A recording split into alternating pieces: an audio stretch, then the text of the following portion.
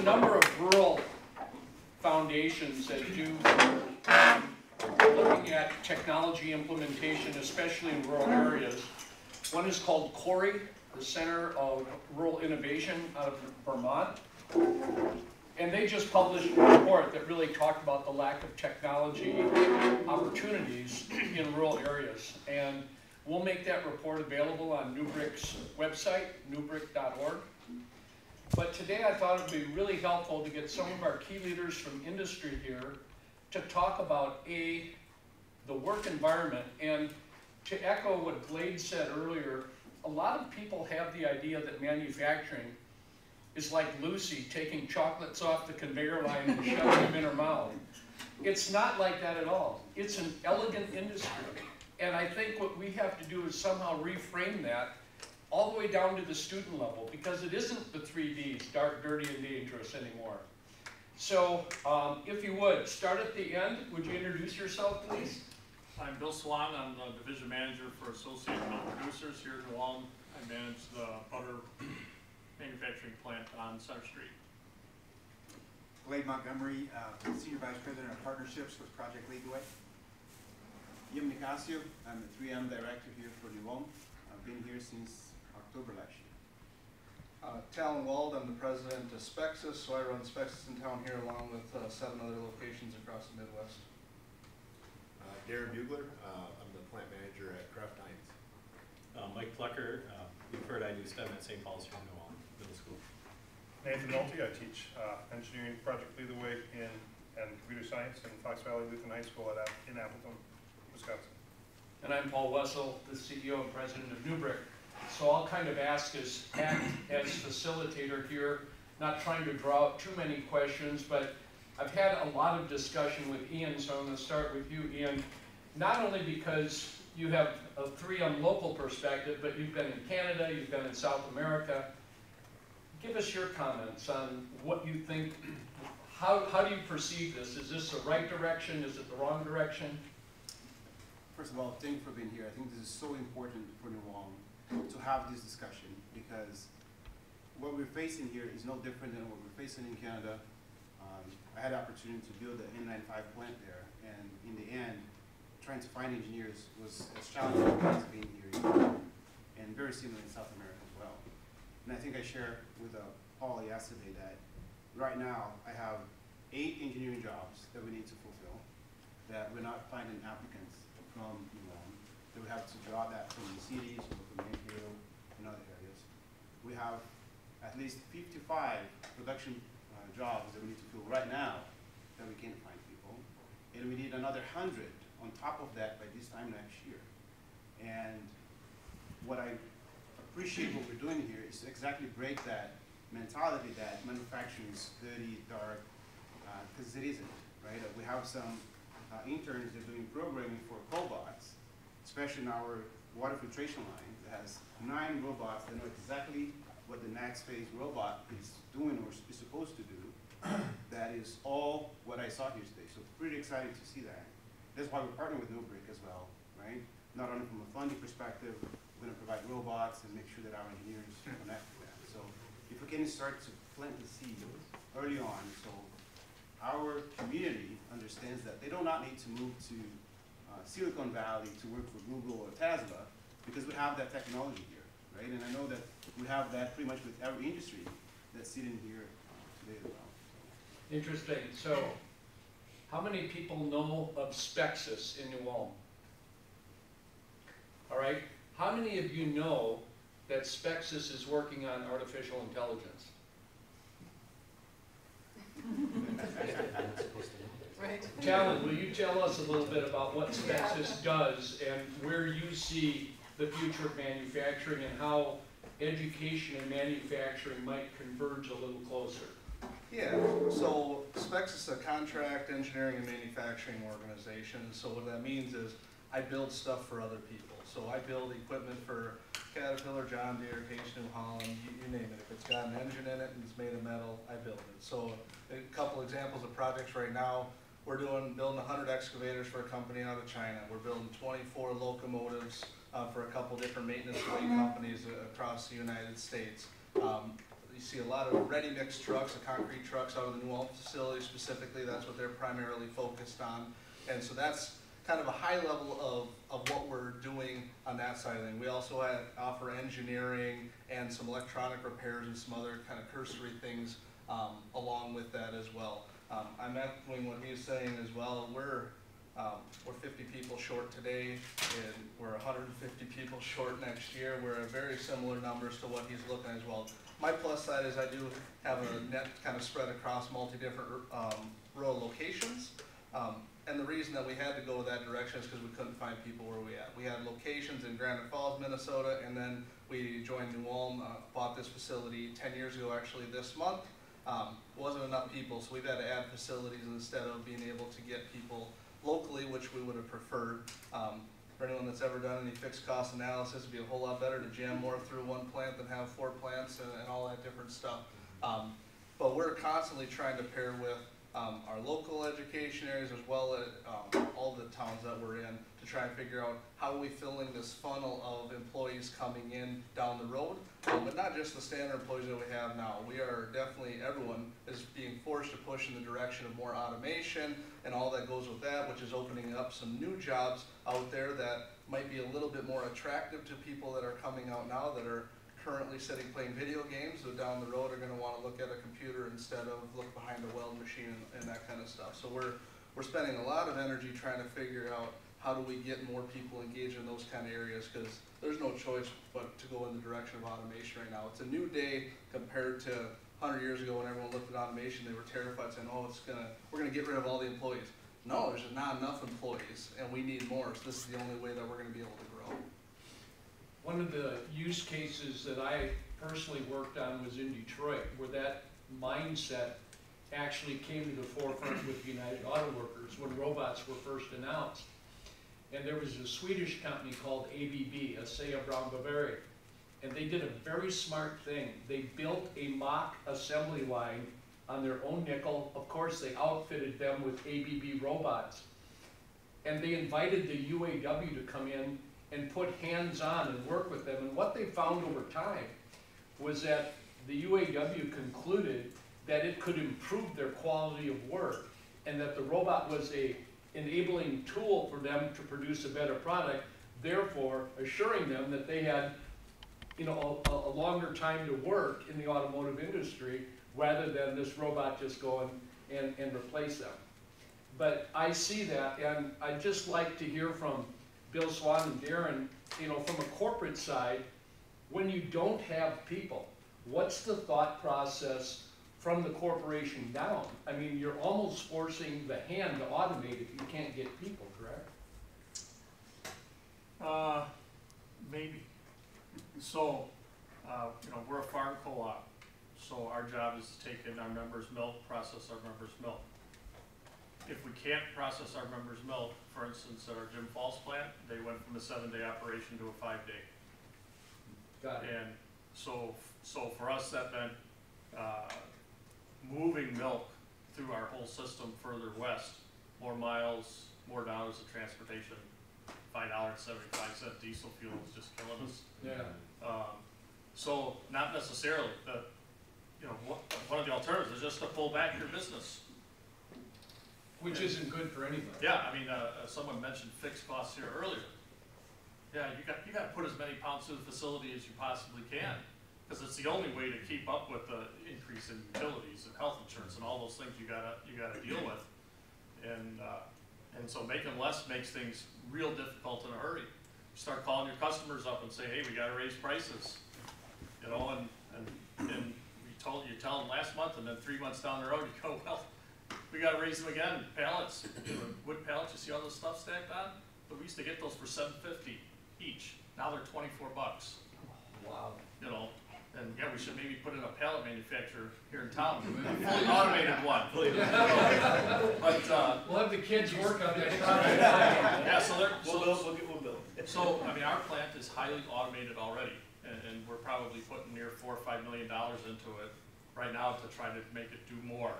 Right. But, um, you know, to, to the UAW point, it doesn't really get rid of any people. You know, the people have to be there to tend and mind the machines. The machines are great at doing the same thing over and over and over and over again, the same way. They're horrible at dealing with variability. And you gotta have people there to deal with the variability that comes up every day. Sure. Darren? Yeah, I mean, we're fortunate, we're pretty automated, so since twenty fifteen, we've invested a lot of money in the, facility. Uh, always looking to automate additional, right? So just like these guys have said, you know, we're probably forty people short, um, today. Um, but we need people that can go fix that equipment, right? We need people who can, you know, repair the automation that we have in place, uh, as well as work on the line, right? So we're similar to, to what Bill was saying at AMPI, we're, we're pretty automated, we, we don't have a lot of hands-on, but, you know, we need folks to, to go in and, and keep the lines up, you know, up and. Um, you know, I will say, as I look at this program, you know, within the leadership staff out at Kraft, there's, there's eight of us. Four of us have either engineering or technical backgrounds, right? So we've all started in those technical fields and then branched out into different, you know, jobs within that factory. So lots of opportunities, right? They're always looking for, you know, kind of that engineering-minded person as, as, you know, within our company. So within Kraft, I, I think, you know, they're looking to automate as well. Our facility is, is pretty automated, so others are probably getting that funding. So we get in, a we're in a tough spot, right? We can't automate the jobs we'd like to, um, because other, other plants are taking that funding, right? So there's a limited amount, they're kind of going to the biggest need first, and, and so we're kind of at the bottom of that list. So we're in, you know, we just gotta figure it out now, we just gotta get people in and, and get them working. So, so listen to this, between Ian, Talon, and Darren, in the next year, that's well over two hundred job openings for New Ulm. Now, I'm not here to tell, tell you that Project Lead the Way is the silver bullet, because we also know that we have a housing crisis and we have a daycare crisis. And as Talon was saying, it's really the three-legged stool, right? You have to have good workers, but you have to have housing, affordable housing, and you have to have childcare. And so, we're not alone, but the point that I'm trying to drive home is, if we do nothing, that's exactly what we'll get. We've got to do something. And I think that it bodes positively for New Ulm if we can then produce these types of students that are job ready via the PTLW, PLTW curriculum, that then that gives Darren, that gives Ian, and, and not so much talent, but when you're talking up to corporate, they have an argument for New Ulm saying, do you know what New Ulm's doing in investing in their students? They're coming out with these sets of disciplines, and it's a good place to bet your money, because this is a product that's coming into the workforce. Well, if I could. Please, Ian. If we do nothing, we'll lose business, and that becomes a death spiral. Absolutely. Uh, today, we have conversations when an opportunity comes, uh, similar to what I think everybody is understanding, the geopolitical situation in Europe and some parts of Asia being shut down because of COVID again, right? Right. The corporation is looking back into the United States and saying, where could we move this business into? Right? And it goes down to how fast can you hire people? Show me what the past three months, five months has been hired engineers rate, um, production workers rate, Uh, and how engaged you are in the community. And we're comparing plants between us here all the way down to California to see where the business should go, Right. right?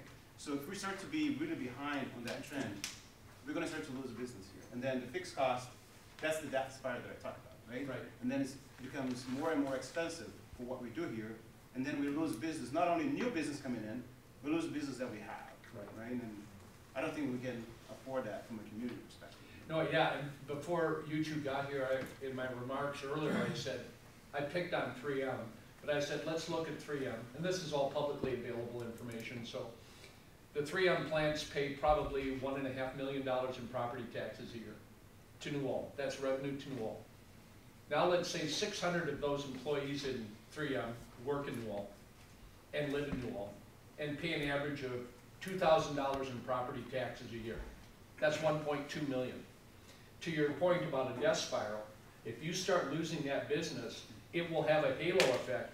And then that affects the New Ulm economy, that affects how much money we can use to keep up the city of New Ulm and reinvest in New Ulm and make it a viable living place, nobody wins. And we are almost tapping out, right? I was sharing with Tim that we have investment all the way to the end of next year. But the five-year plan, the corporation is looking at us and saying, how about we see what happens if you can actually get the people, the talent, the development that you need by the end of next year, and then we talk again, right? Yeah. And then that's where we start to lose some of that business to other, especially states that are providing some subsidies and taxes as well. That plays a big role um, into that. And I second the point about housing because I was staying in a hotel in Mankato for the first three months Right. when I moved from Canada, right? Because you couldn't find a place to buy, right? So it's, we have to start doing something, and this is pretty exciting to see that, uh, the, the strategy today, that's why I came earlier from the panel as well, just to understand where are we starting this? We're getting kids engaged on that, and that's why I mentioned, let's open the plants, let's get these kids walking around in a safe, uh, process to understand they can do programming for robots, either for pallets, for, uh, cheese, butter, uh, whatever business that they're into, to show them that that's cool, right? And we can definitely bring the engineers or the interns that we have at the plant, as I shared with some of you, that wearing their vans and their hoodies to say, hey, there's a cool place to work here, instead of listening from, from us, where it's like, "I- they're, they're not cool. But we have all that going on. We have all Wow, that going on. wow, do I feel old? Oh, you're still cool. Yeah, They didn't meet you. yeah, that's right. Paul, I, I think this is, this is so, also interrelated, and I think one of the slides that Jason had up earlier is, you know, the business, the higher ed, the, the pre-K through twelve, it, it, it all has to interrelate, and I, I think a couple points that, that I wanna make, you know, first and foremost, I think what you just said, Ian, is opening up your plants, bringing the kids, letting them see what's available, see what types of jobs are there, um, and, you know, and talking to them, particularly when you get to high school kids, talking about what starting salaries are and, and benefits and those kind of things, because I, I don't think they understand what's available. And, but the second part of that is, is letting them know, and Darren, I think you mentioned, that's not, thi- this is not, this is a starting point for you, it's not an ending point. You can, you can continue to progress, you can continue to go to school, you can continue to, to, to get more education and more degrees or, or whatever. It can lead to other things, but this is a starting point for you, so I think that's really important. The second point that I wanted to make is, you know, when I was a superintendent in LaPorte, Indiana, I sat on the Economic Development Board, and, and when you talk about new business wanting to come to your community, one of the first things they ask about is, what is your school system like? If they're gonna move a business and they're gonna bring employees here, they wanna know what the schools are like. What do your schools offer? And I think this, you know, could potentially be a big selling point for, this is what our kids are learning. This is how we're preparing them for the future. So I, I think it's all interrelated, and, um, you know, I, I think the plan that you've got, and, it's- it's fantastic to have business people here, because, uh, so often, education and business, that there's this disconnect. You know, I, Paul, I made a comment to you earlier today. People talk about a skills gap. Uh, I'm not so sure that it's a skills gap. I think it's a, it's a connection gap. And that's what we have to try to do, is to make that connection, uh, with schools and students and, and business, so. And I think from a community standpoint, we could do a much better job in messaging that manufacturing jobs are cool. I, I, I think about the ads you see on TV for the Army and the Navy and the Air Force. It's not guys doing push-ups in the jungle, right? It's guys flying the F-14s and the, and the F-35s and, and the cutting edge stuff, drone aircrafts and different things like that. So we can do that, but that's on us to make that to change that messaging so that our kids say, you know what, this is really a cool place.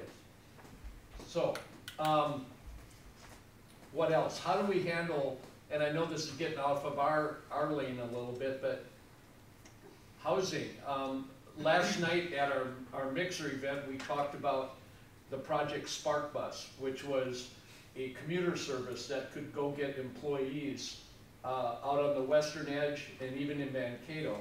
Uh, Are you seeing in other plants, Ian, them being forced to look at kind of out-of-the-box solutions and getting workers to the plant?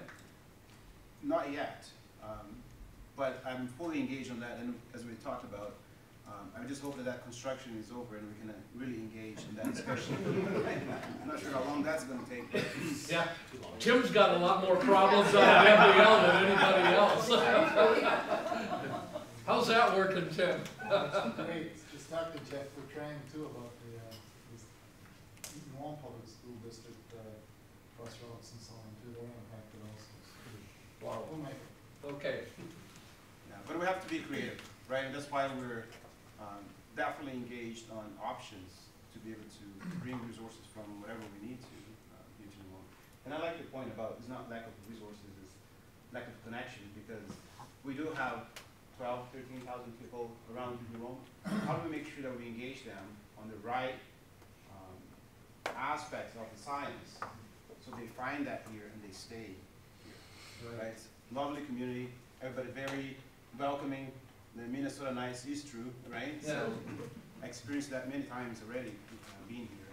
So how do we change? How do we make that science cool? How do we engage that? I don't think we're all good in advertising like the army is, but how do we make that in school? And I was so impressed Mike, when you were sharing your your slides into okay, so this is what we built here. Let's see how we do that on the cheese factory. How we do that on uh, any factory that we have in town to say, yes, this is applicable to the day-to-day. That might change the fact that they just want to work in a video game, right, and uh, become a video game ninja, if that's still a thing what they have there, right? Right. And that's what my kids tell me. No, you're old if you're using that term. And I think that's the perspective that we have to do, not only between the school system and the industry, but also with the kids and what's out there, Exactly. right? What are the options that they have to stay in town? Yeah, you missed the saying earlier, Ian, but I, we, we have a saying that, that kids can't be what they can't see. Right. If they don't understand what's out there, it's, it's hard for them to visualize the future. And I think we're some- somehow already engaged with some schools in some sort. Uh, some of them have connections with VM that would bring those resources to the site. But how do we do that as an industry and the school board in a more organized way instead of a one-offs, right, in there? Jason? So, Paul, I think there's something that you've got here already. You've got a video crew here.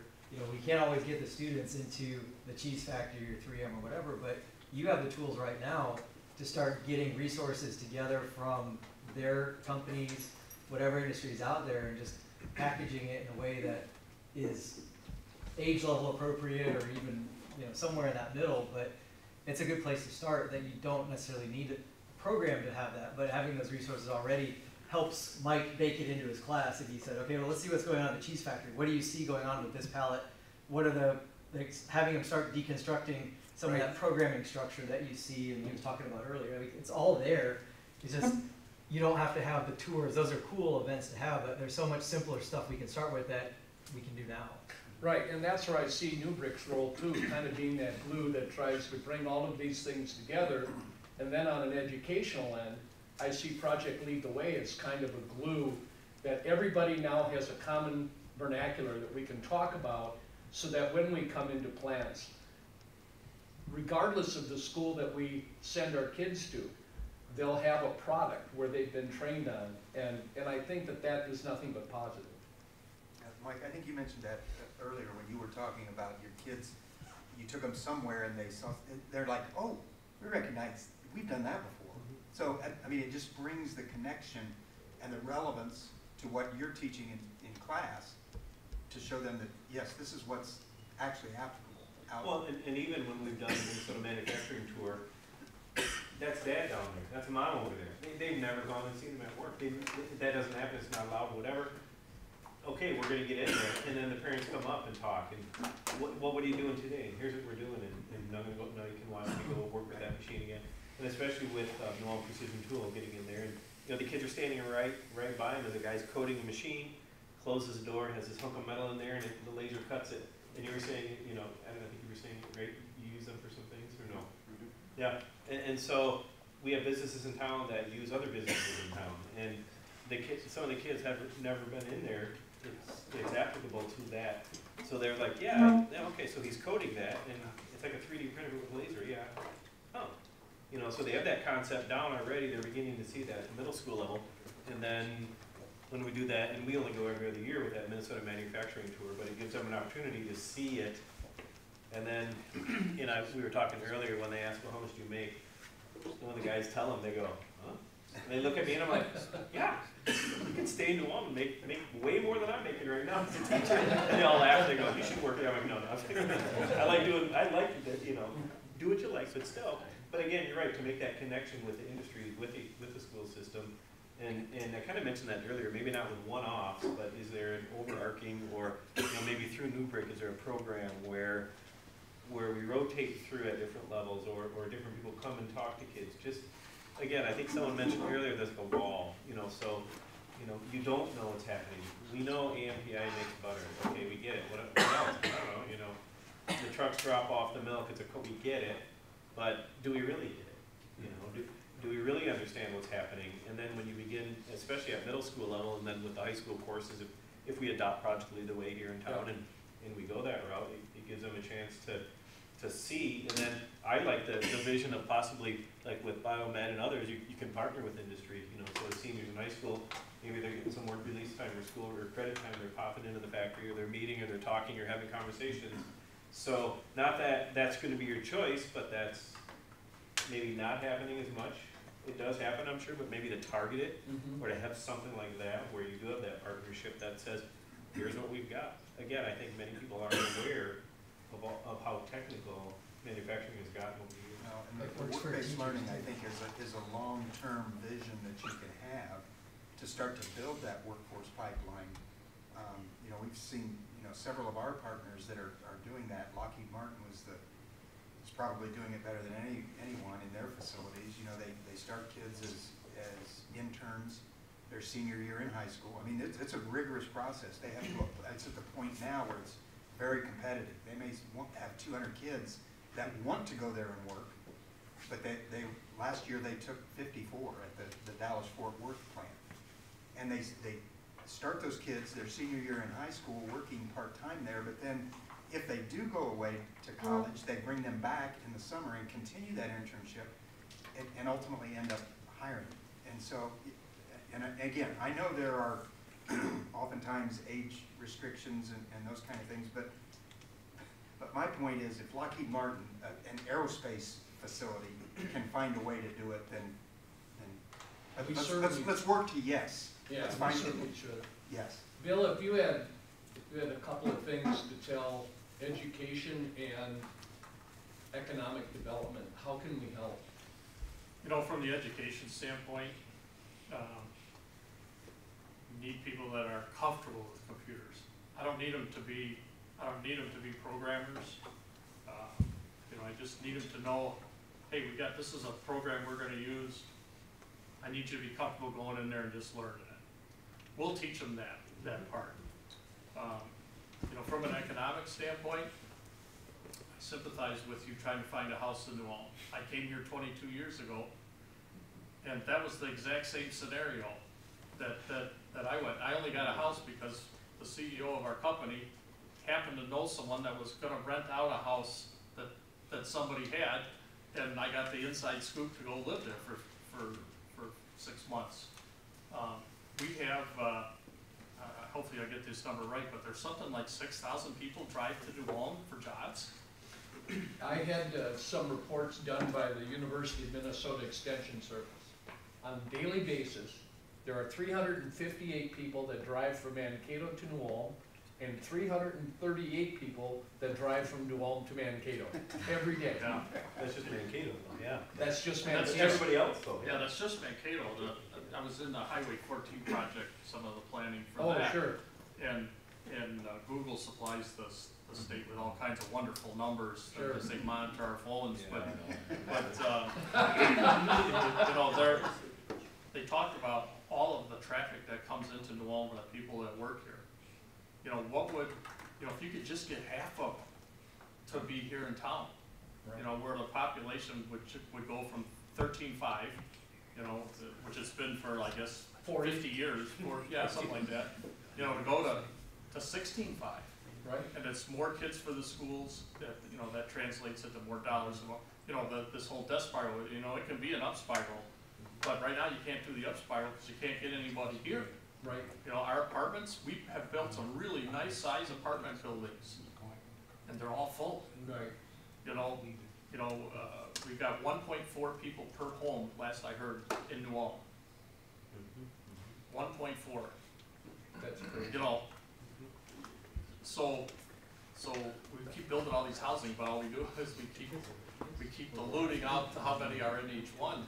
Um, you know, so the, this land acquisition for the city, uh, for their part, uh, helping developers, uh, even with apartment buildings, they don't all have to be single-family houses that are three hundred thousand dollars a crack. Right. You know, there's, we gotta have a place for those folks to live, that, that's, you know, that's how you build that community. Mhm. And right now, the community, in my opinion, community's thinning. And, and, uh, we're getting older, we were, uh, we were one of the oldest per capita towns our size in the whole state, Mhm. age-wise. You know, you know, I hate to see New Ulm become, you know, become one of the local churches where, you know, you're sixty years old and you're the young one, Right. you know? Well, the juxtaposition of that is too, because I've done a lot of work in elder care technology and things like that, is there are a lot of aging people in New Ulm that still live in their homes. Yeah. But that's the most effective, cost-effective Yeah. place for them to age. Yeah. Yeah, you know, skilled nursing and assisted living is really expensive. I, I think last I heard, there was about twenty-eight percent of our town's population was over age seventy. So there's gonna be a churn at some time, but is that churn gonna catch up with the demand that we need for workforce? I don't, I don't think so. Same question to you, Ian. Education, what do you think of this? How can we mobilize it? And then what can the city of New Ulm do to, to help? Well, I think everybody in the room here knows that science is what 3M does, right? They actually changed their uh, logo now instead of just innovation to science applied to life. And we're here to help, right? If any school system here is with the idea to say, we need to build a lab, we need to bring this science, let us know. I was just talking to, to Tim, say, if you need products for all the products you're doing, let me know. We can provide you all the wire connections, all the duct tape. Oh, yeah. We can do all that, and we can bring some of our engineers as well. So we're here to help. Like, what do you need? Let us know. Let's break that wall. Let's leverage Nubrick, because the first time the Paul went to 3M, I had to sign a check. So let's, let's continue to build that relationship and leverage Nubrick and uh, what we're doing here. Contact us, right? We're just a few steps away. Like, how can we help? Like, you have pretty much all the big employers in town Right here, here. except for the city of New Ulm. Let us know what we can do to help. Talon?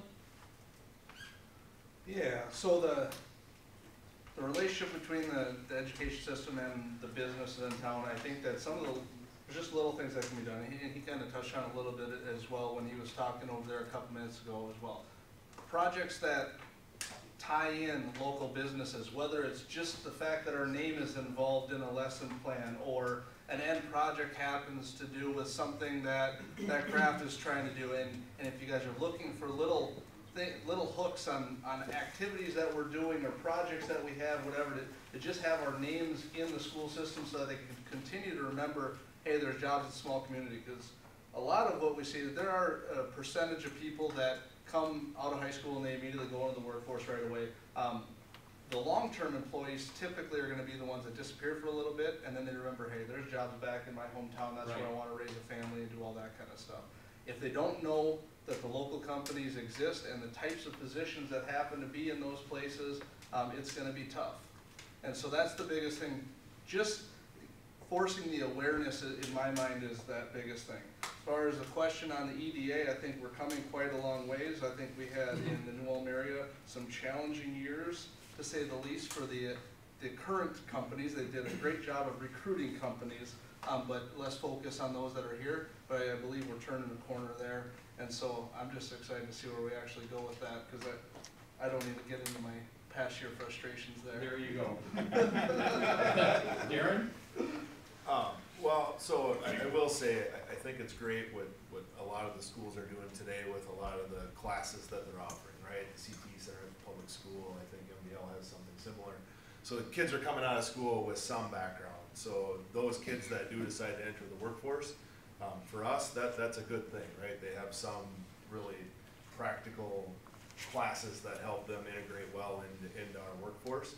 Um, and, and I think that's key, right? How do we get into the schools? How do we talk to the kids and let them understand that there are a lot of opportunities. Um, you know, what we see out at Kraft now is, uh, you know, jobs that used to take twenty years seniority to get, you know, people are getting six months, right? Just, we need people that are, are comfortable around computers, are willing to do the work. Um, and, and it's not a bad place to work and lots of opportunity for growth. So I, I, I like to see that, I, you know, this is, you know, I'm hopeful that this can happen and we can continue to produce more, you know, students coming out of school with that background and, and as long as we're keeping our name, you know, in front of them, that they know they have a place to either come back to or go to right after school, that's great. Um, you know, and, and yeah, I think, you know, cer- certainly housing, um, is a, is a big, big deal for New Ulm, you know. I think we just did a, a little quick poll, I think we have about four hundred and fifty people, and about half live in New Ulm, right? So the other half we're pulling in from surrounding communities. And, and when I say live in New Ulm, they have a New Ulm address, right? So that, that could mean some of the smaller communities around, but, uh, the other half are coming from beyond that, so. Right. Um, And, and that's definitely a shift from where we were ten years ago, right? Ten years ago, it was probably seventy-five percent New Ulm, so. Interesting. Indicative of this problem, all these gentlemen who are running plants or are major employers in Ulm came here today because it is an issue. And it's an issue that not one group can solve alone. And so I would like to thank Darren and Talon and Ian and Bill just for coming and sharing your knowledge with us and helping us understand. So thank you very much. Any other questions or comments for the, for the group?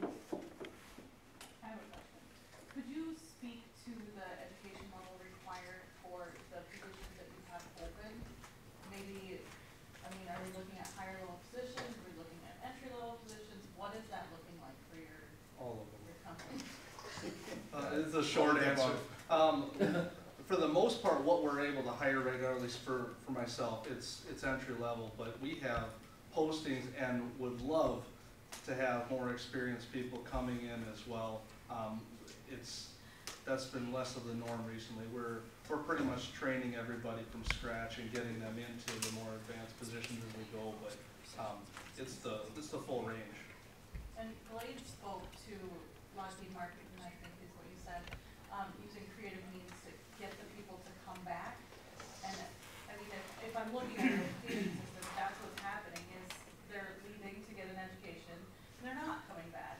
What are the other creative things that we have, you explored to get that to happen? So at 3M, we, we have a way to try to lock people in, is that if we can't find the resource with education coming in, we're paying and supporting them to go after that, and then they sign a contract. We'll pay for you, but then you have to stay employed with us for a certain period of time. That's, one, expensive. Two, is an extra burden for folks that they have to come to work and go to school at night, right? So there's a challenge there as well. Um, so it's not the perfect solution, but it's somewhat where we're trying to find uh, ways to get to that next level of education requirement from within the organization, right? Um, and those usually stay longer, right? Once they find the, the company's invested in me, so I should stay. So the contract is just uh, an add-on. I didn't need the contract because I like what I do. Uh, but again, if we pay for education for 50 people every time because that's not available in the community, it becomes very expensive. We'll, we have actually uh, lowered our education requirements in order to get folks. So we will take people that do not even have a high school education, and uh, if they'll interview fairly well, we'll take them from there. Um, uh, We are big on promoting from within at API, and most of my staff has, has uh, all worked their way up through the ranks in the plant in various, in various positions. Uh, we also offer, if you want, hey, Gail wants to know if, you know, if she should get a finance or an accounting degree. And my answer was, yes. You know, and, and we'll pay for it. You know, you do have to pull the double duty, uh, you know, week at working at home and, and other things to, to do that, but, um, you know, so we, we really do have the full gamut of folks, and if I had folks that were, you know, had college degrees already in fields that I wanted, be glad to bring them on. Yeah, we're, I mean, we're mostly entry level, um, you know, so high school, degree or diploma or equivalent. And we do a ton of training, right, just like these guys have all, all talked about, so we'll train you to what you need to know, and then that's really endless, and we do, you know, a lot of promoting from within as well, so, you know, it's really just getting them in the door that seems to be the hardest thing. Dave?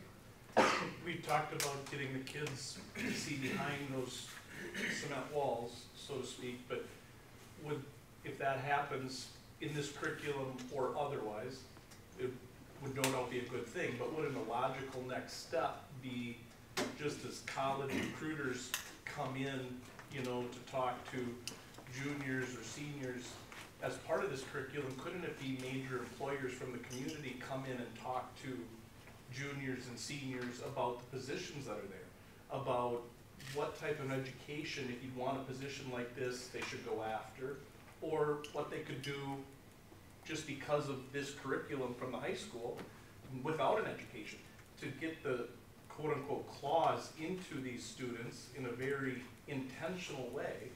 Because otherwise, without that step, this is preparing kids to go off without that hook to bring them back.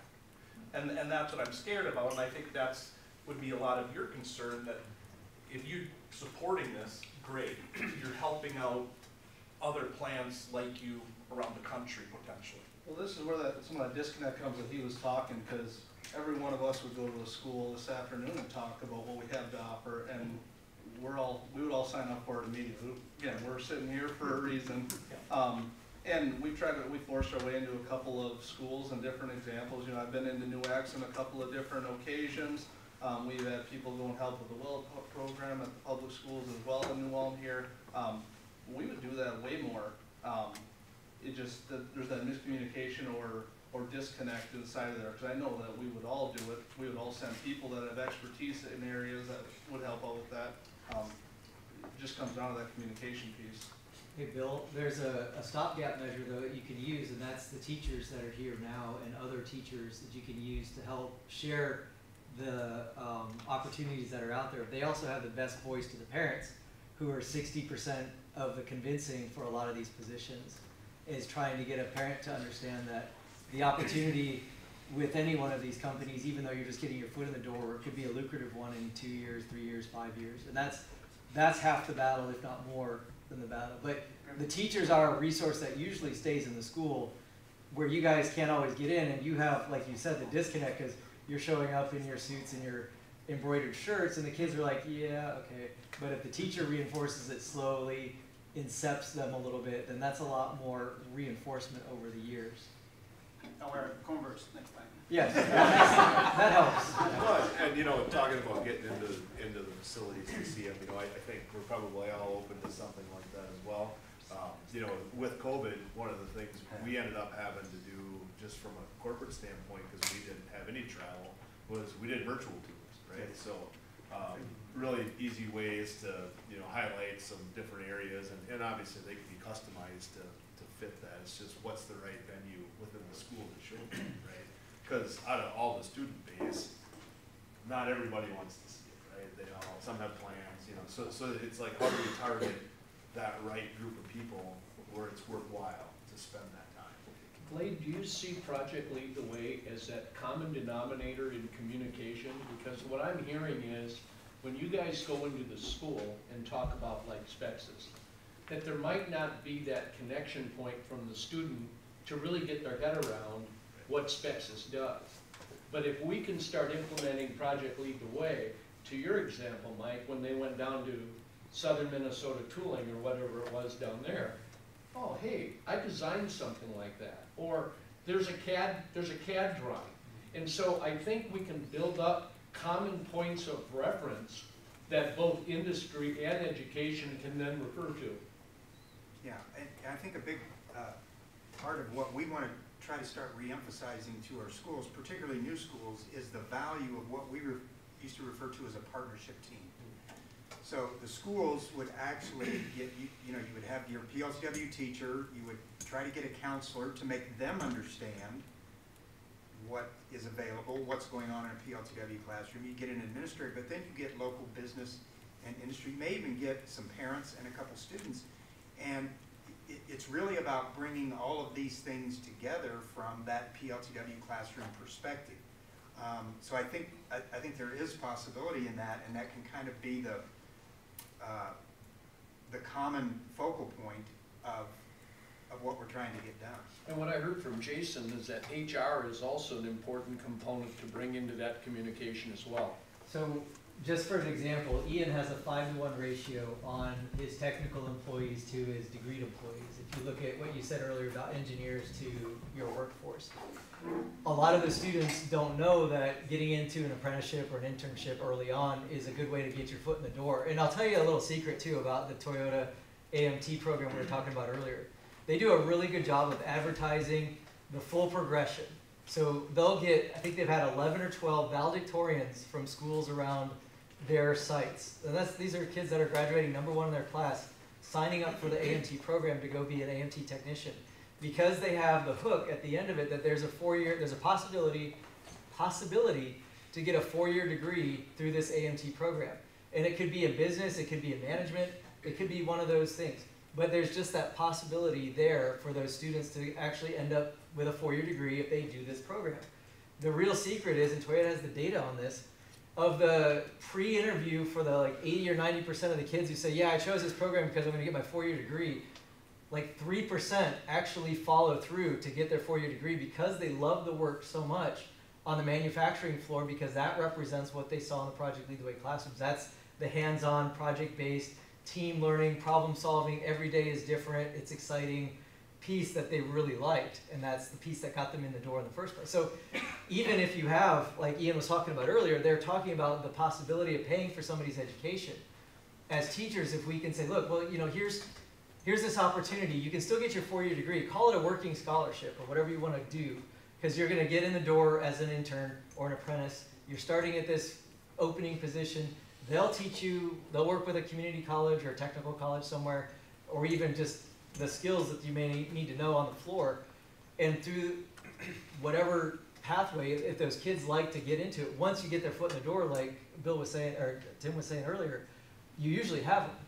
And that's, they find out that they really like the work they're in, and as, as long as it, it, you know, they, turns out to be lucrative or not, or they can have a living wage, they're usually really happy where they're at. And even though that carrot is still out here, maybe in five years when they have a family or they got a kid and they think, you know, oh, okay, maybe I need to start going this route, they still have that option. But it's getting them in the door that's the real tricky part, and it, it works when you can just say, here's that progression. And I think it's honestly more for the parents than for the students sometimes. Nathan, I'd be, be interested to hear what, you know, in, in Fox Valley, a different community, but, but how, how you're incorporating business and industry into what you do there. Uh, and there's quite a, quite a variety of, of high-tech manufacturing and other, uh, opportunities in the valley. Um, also several different opportunities for, for higher ed and technical ed, so, um, we get students going in a lot of different directions and exploring a lot of different opportunities. Um, uh, we've got different amounts of collaboration, there's, there's a couple groups that we're a part of, there's a, a Northeast Wisconsin, um, uh, manufacturing group and an IT group that has some uh, community collaboration with industry leaders um, to, to, to build those bridges between education uh, and industry. Um, there are more things I'd like to do uh, at our place to, to tie that in. Um, I think what it also does, and looking over the, the more than ten years that we've been doing it, um, is you know having just that STEM program. It it does bring that conversation just into the school community and the broader community. And, you know, the, the, the kids coming to the schools are, uh, their parents are the kids that are working in those industries. And, and, and without that at the education level, that, that might not be a part of their everyday conversation about, you know, what they're doing in their jobs and what opportunities are there.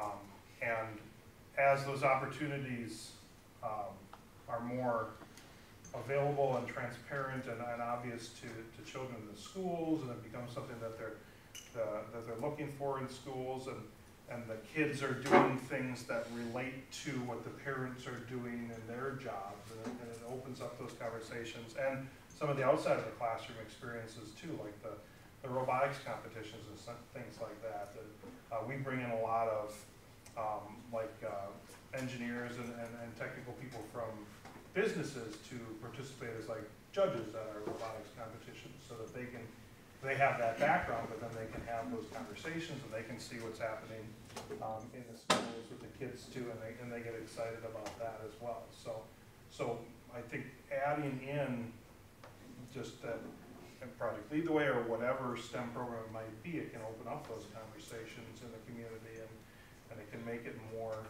just a talking point and something that's in, the- in more in the consciousness of everyone.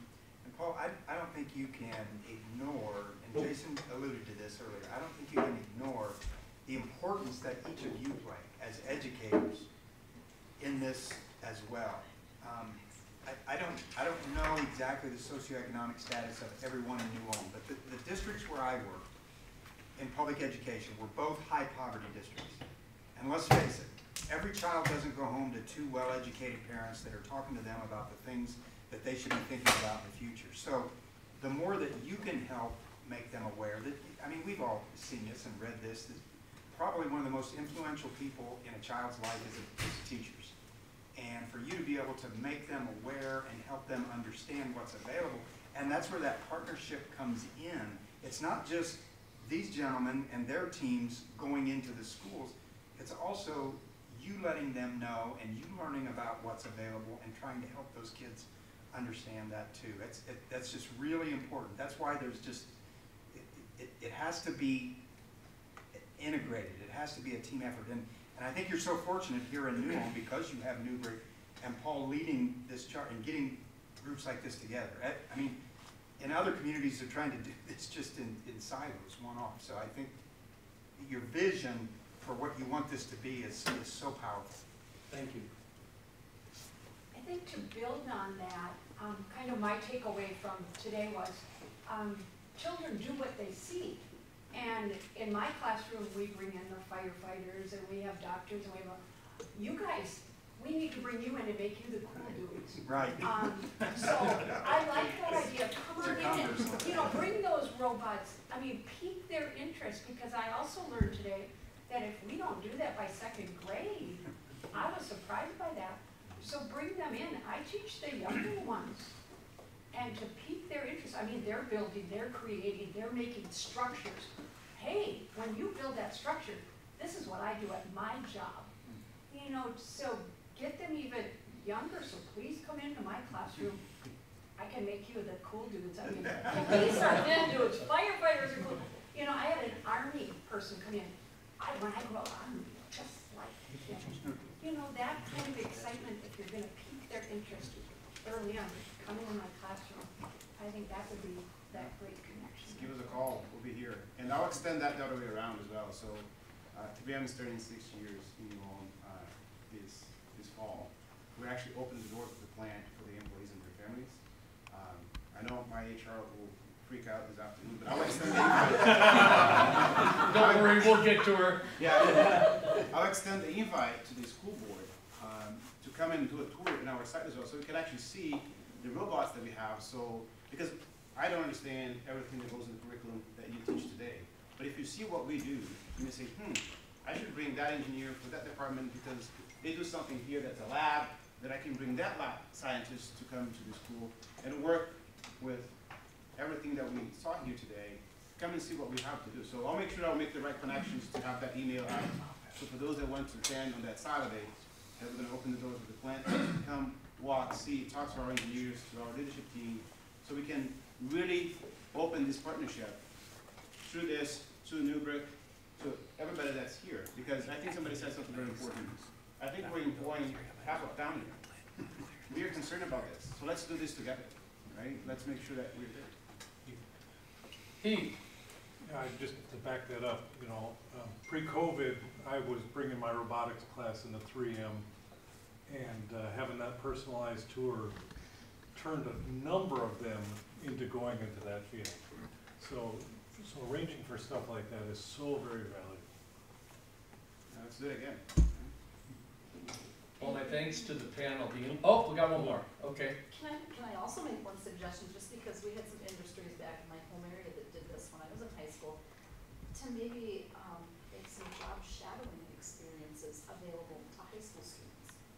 Because that way it would give them a taste of what really happens in the day in the life of an accountant, or an HR person, or, you know, something, the jobs that they, that the kids don't hear about, you know? That's a good point. So those job shadowing experiences before they choose their program of study helps plant a seed that, well, wait a second, I never thought about that particular job before, you know? That- that Spexus currently does that. So we had a gal from the high school this, this last year that did HR, we've had accounting, we've had finance, we've had engineering, we've had a couple of weld students that have shadowed on the shop floor, we've had people in the paint area. Um, so we've done quite a bit of that as well, and, and we've actually had, um, about half of them come into employment with us later on. We have one last topic after I excuse the panel, and that is talking about adoption barriers. And then nothing gets done unless there are action items. And I think one of the action items I'd like to see out of this is a working group that's represented across the schools where we can keep moving this initiative forward. So why don't we take a, a, a bathroom break and thank again our guests from coming in. We appreciate it very much, guys.